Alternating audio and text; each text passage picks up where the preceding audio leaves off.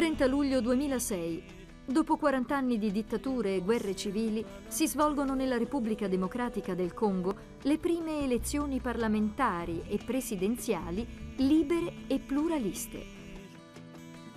Le ultime elezioni democratiche si erano svolte nel 1960, ma dopo l'assassinio del primo presidente Lumumba, il generale Mobutu aveva instaurato un regime autoritario e filo-colonialista durato fino al 1997, anno di proclamazione della Repubblica Democratica del Congo da parte di Laurent Kabila. Il suo governo però viene funestato dalla guerra civile in cui intervengono anche altri stati africani, Ruanda, Uganda, Angola, Namibia e Zimbabwe.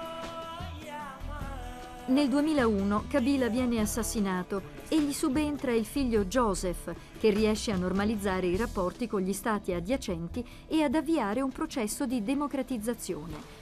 È lui il vincitore delle elezioni del 30 luglio 2006.